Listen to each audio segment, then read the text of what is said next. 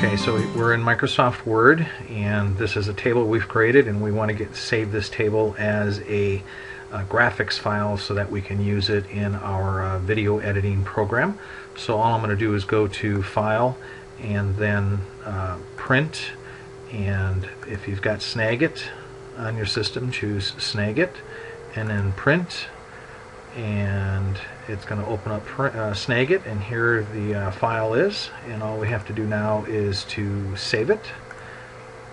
And we're going to save it as uh, this one right here which I've previously done and we'll just save right over it and confirm yes. Now I can I'm done with Snagit I can go ahead and, and close it.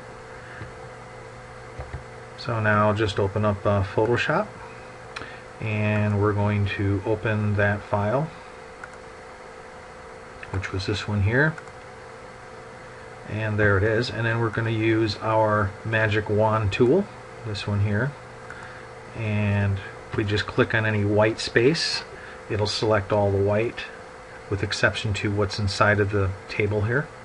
And then just hit the delete key and uh, control D to unselect un, everything. So now all we have to do is resize the canvas here to match uh, as close as we can to the actual table itself. So we're going to switch over to our selection tool and uh, I like to just drag this uh, uh down to about the center and then we're simply going to go image. Oops I have to click off of it I guess apply the transformation there we go. And then uh, click off and then we're going to do canvas size. And I happen to know in advance I want 10.2 by 2 inches. And click OK and it's going to give me a warning that the uh, canvas uh, could be smaller it's going to be smaller than the original canvas so we might lose some of our image. And um, so as you can see some of the images outside of the canvas. So if we scroll in a little bit make it easier to work I can simply hit the down arrow and make it come down back into view. And there we go. And off to the left it's looking kind of close to the edge. So I'll just hit the right arrow and that looks pretty doggone close.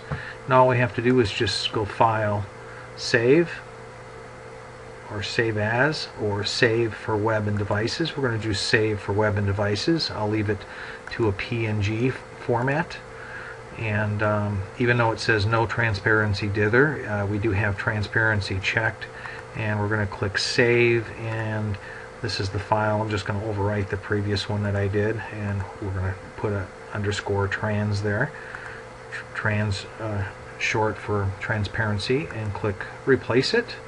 And so we can get rid of Photoshop and Word. And so here is our file that we just created and let's go ahead and bring this in into our video editing program. So I'm just going to grab this one here drag and drop it onto the timeline and click over here and you can see if I undock this and resize this a little bit. There we go.